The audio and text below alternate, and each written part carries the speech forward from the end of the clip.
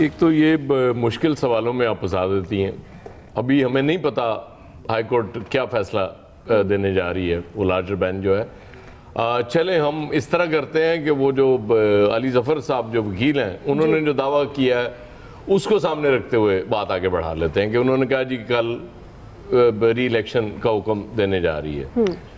इस सिनारियों में अगर ये हो जाता है तो उसके बाद इलेक्शन होना है वो बिल्कुल ठीक बात है कि ये वो खुफिया काउंटिंग नहीं है ओपन बैलेट है वो गैलरी में जाके करेंगे।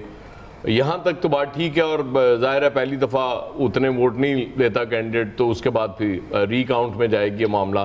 और फिर उस हाउस में जो ज़्यादा वोट ले जाएगा वो वज़ीर अला बन जाएगा। अब ये तो एक सिनेरियो है ना कि ज़ाहिर है दूसरी पार्टी को आप वोट अब दे ही नहीं सकते देंगे भी तो काउंट नहीं होगा। हाँ ये अलबत्ता ज़रूर है कुछ लोग बीमार हो जाया करते हैं। कुछ लोगों का मूड नहीं होता वोट डालने का। कुछ लोग वैसे ही वो गायब होना पसंद करते हैं किसी मौके पे। अगर वो सिचुएशन बनती है तो फिर मुझे नहीं पता कि उसका क्या नतीजा होगा।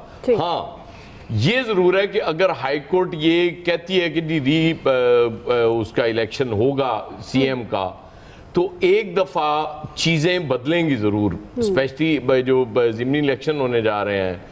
इस वक्त होल्ड चूँकि चीफ मिनिस्टर का है पंजाब गवर्नमेंट का है वो फिर हर चीज़ शेकी हो जाती है कि अच्छा जी अगर री इलेक्शन में हमजा साहब हार गए वो जो अफसर बेचारे बड़े खुशो खुजू से वो मेहनत कर रहे होते हैं किसी कैंडिडेट के लिए वो भी थोड़ा शेकी हो जाते हैं कि यार अगर वाकई कोई सिचुएशन चेंज हो गई तो हमारा क्या बनेगा? और भी चीज़ें वोटर भी सोचने पर मजबूर हो जाता है। तो मेरा ख्याल है उस हद तक ज़रूर फ़र्क पड़ेगा। बाकी तो फैसला आने के बाद मरहल कल शायद हम मजीद इस पर बेहतर बात कर सकें।